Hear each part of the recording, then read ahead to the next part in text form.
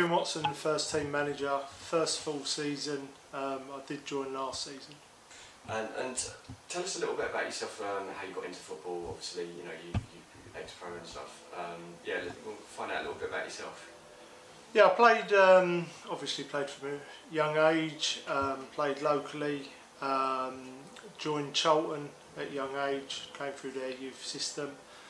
Um, didn't progress in, in the game that far, um, went to university, Bath University, uh, on a football scholarship. Um, we had some successful times, several prom promotions and um, good run in the FA Cup, getting to the first round proper. Um, when I came back to, to London, I started playing non-league, played for several clubs, uh, Chelmsford, Welling, uh, most notably, um, Folkestone, Concord, VCD, ended up at Chatham. Um, the manager, the manager resigned at Chatham. I was asked to take over. At the time, I was about 30. Um, so it started as a player manager. Difficult to pick yourself. Probably weren't good enough anyway. Um, done that for about four seasons or so. Enjoyed it. Decided it was it was time to leave. Came out of the game for a little while. Um, and then the opportunity arose to come and manage at Cray Valley, and it was one that I felt uh, was was too good to turn down. Did you always see yourself when you were playing that you wanted to become a manager? I did, yeah. I always um, saw myself as, as a bit of a student of the game, um, and as I got slightly older, I was looking at managers and, and, trying to assess them and, and, take the best from them. Um, and, and what made me tick as a player. And I just felt to myself that um, when I look back at my career, the, the highs and the successes and the enjoyable moments were were very much um, not so much through the club, if you like. It was more about the manager. So I felt if I could give that opportunity and experience to, to other players, um, then maybe I can have an impact on their careers and their lives. Is there any particular manager that you learn from or, or, or even now bring up for advice? Two, two stand to mind. Paul Tisdale, um, MK Don's manager. He was the manager at um, Team Bath. Um, it was the first step in his managerial career, but what took from him was um, the fine details. The fine details are really important for players and, and feedback. Um, Neil Cugley at, at Folkestone, I still speak to quite a lot. Um, it's more about the man management side of things with, with him. So absolutely, there, and then there was some that I won't mention, but maybe um, not I had less respect for, but I didn't necessarily agree with their morals, etc. So I try to sort of discard that from from what I do in my role. Would you? What is the biggest challenge being a manager? biggest challenge? Um, at this level with this team, it's the it's the pressure. It's the pressure of having to win every game.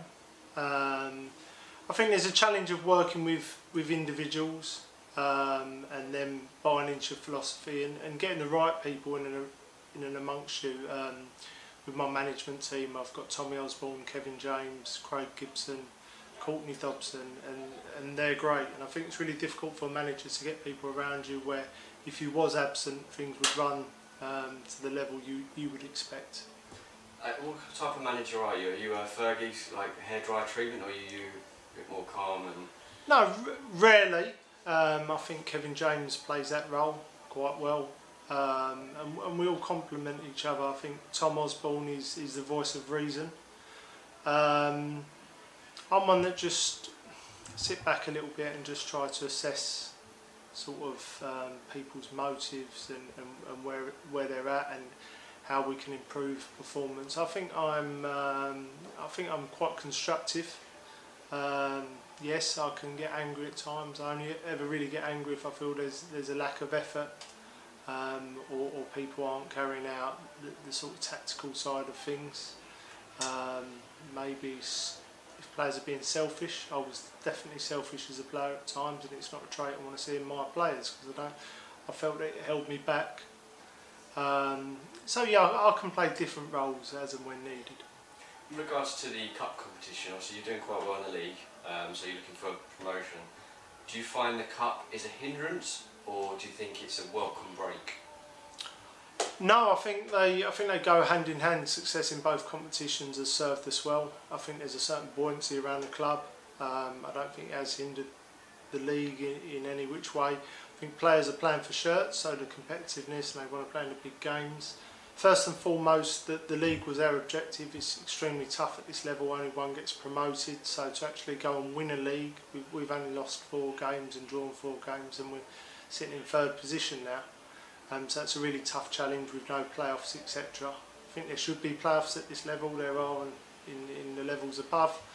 Um, but no, the cup, cup competition, I've always said that's for the players. That's their opportunity. I'm, I'm judged less on the cup, if I'm honest. I'm judged more on the league.